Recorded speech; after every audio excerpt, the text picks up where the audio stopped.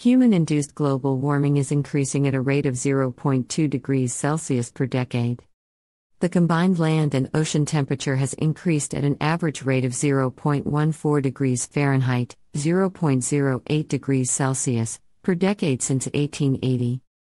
However, the average rate of increase since 1981 has been more than twice as fast 0.32 degrees Fahrenheit, 0.18 degrees Celsius, per decade. The global average temperature reached 1.1 degrees Celsius above pre industrial levels in 2019. The last decade was the warmest on record. Global temperature is projected to warm by about 1.5 degrees Celsius by 2050 and 2 to 4 degrees Celsius by 2100. The rise is occurring at a faster rate in recent years and is predicted to accelerate in the coming decades.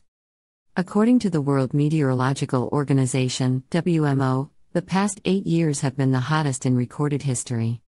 The hottest years on record are, in descending order, 2016, 2020, 2019, and 2017. 2022 was the eighth consecutive year that annual global temperatures reached at least 1 degree Celsius above pre industrial levels. The global average temperature from 2013 to 2022 was estimated to be 1.14 degrees Celsius above 1850 to 1900 levels. The atmospheric concentrations of the two main greenhouse gases that drive global warming, carbon dioxide, CO2, and methane, CH4, also continued a decades long climb to record levels. CO2 levels rose to 417 parts per million, the highest level in over 2 million years. Methane rose to 1,894 parts per billion to levels not seen in 800,000 years.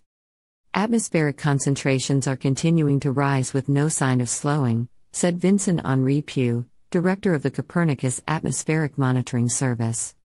A world barely 1.2 degrees Celsius above pre industrial levels has already been buffeted by record heat waves, droughts, and temperatures, and is headed for a disastrous 2.8 degrees Celsius above that benchmark.